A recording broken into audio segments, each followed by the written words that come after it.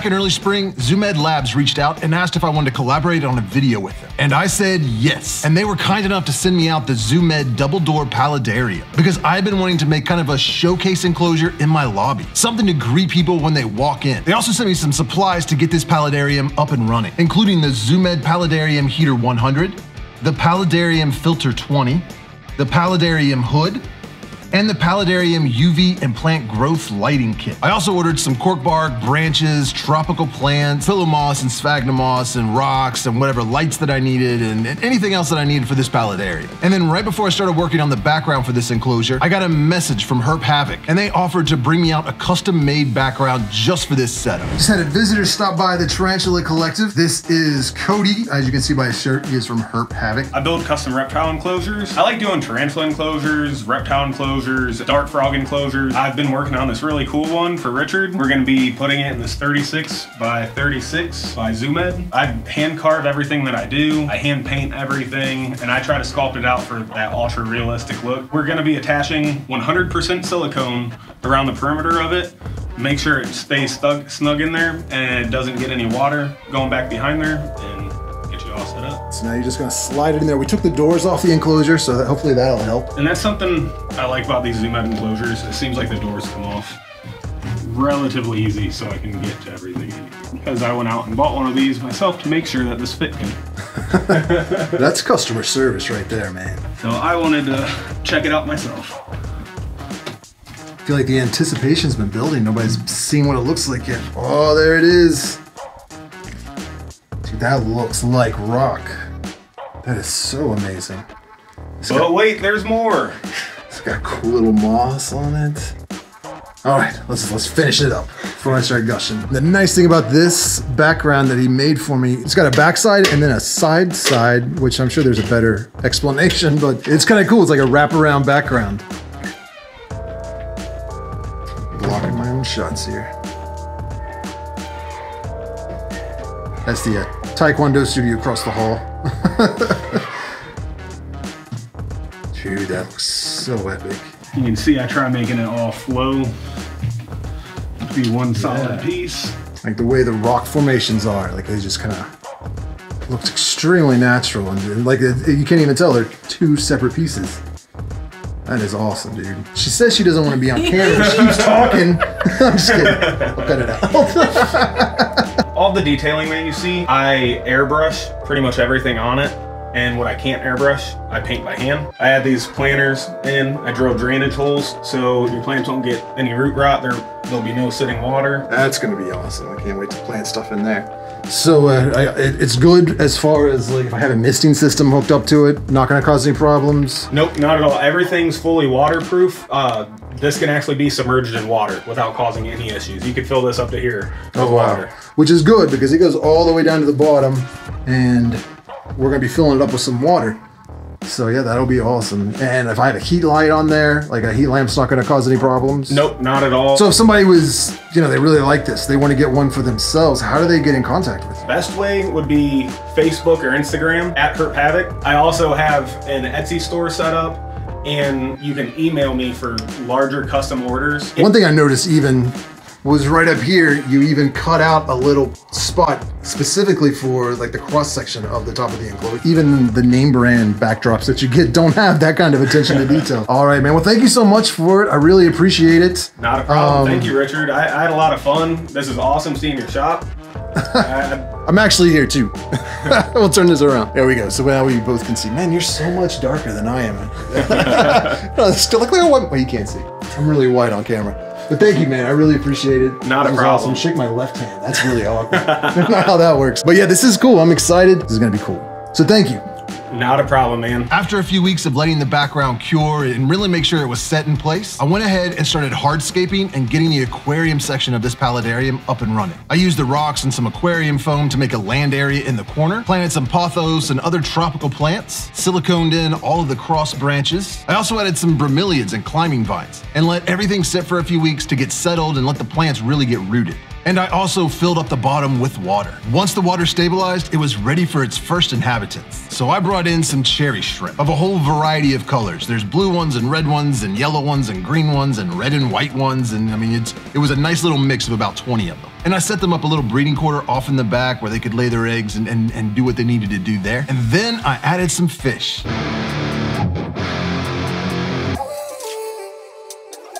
Started off with a Pleco. And then some neon tetras and black lion tetras.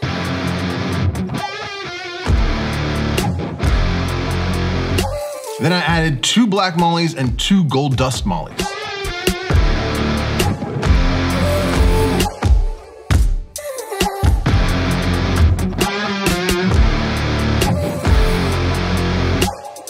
And then about a week later, I introduced a couple of African frogs.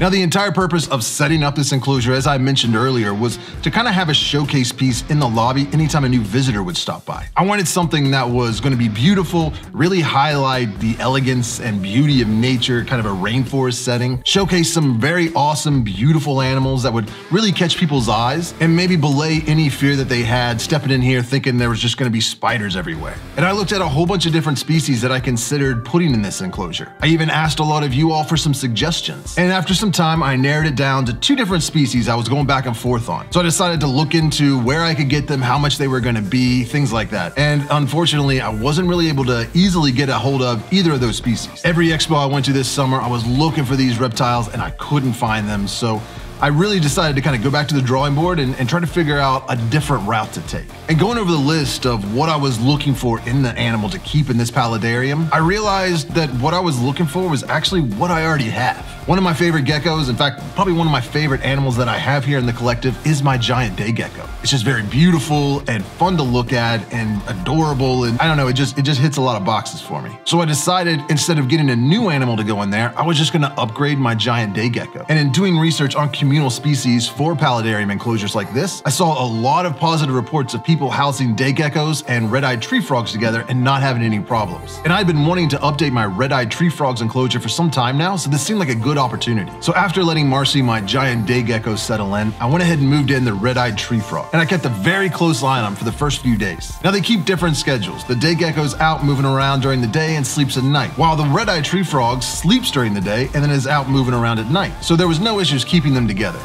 It's been a few months now. The plants are doing really well. The animals are doing well. I did lose a few African frogs. I'm not exactly sure what happened there, but they still got one swimming around. Fish are breeding. There's tiny little babies everywhere. The shrimp are starting to breed, which is very exciting. And it's actually kind of become a detrimental thing for me to have in some ways because uh, I spend way too much time just sitting in front of this enclosure watching all the life move around. I wanted to give you a quick tour of the Zoo Med Paludarium setup here. So we got the double doors and we will open that up here. Usually the day gecko's hanging out on the glass. As you can see, it kind of kind of poops on it some. Uh, but she is back there kind of hanging out. She really enjoys this branch. This cork branch runs all the way across. Uh, we've got the BioDudes fluorescent grow light here. Uh, this is the Zoo Med uh, is the UVB light, which is right underneath this bar here. So she gets plenty of good UVB. I've got a deep heat emitter right here, kind of goes to the basking spot, and it is on a thermostat, so it controls the heat.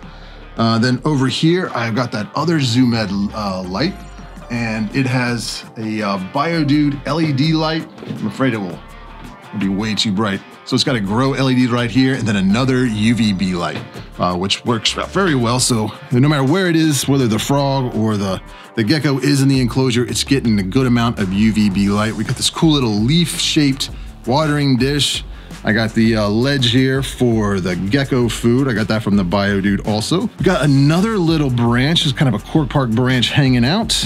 Uh, it's got it's kind of a got a little hidey hole back in here. I don't know if you can see it, but a nice little dark spot for the gecko or the frog to kind of hide out, uh, so you can't you know can get away, find some cover. We got another one back here. The gecko likes to kind of hang out down in there sometimes. Kind of made its own little cave. It burrows itself up underneath here into that moss which is kind of cool.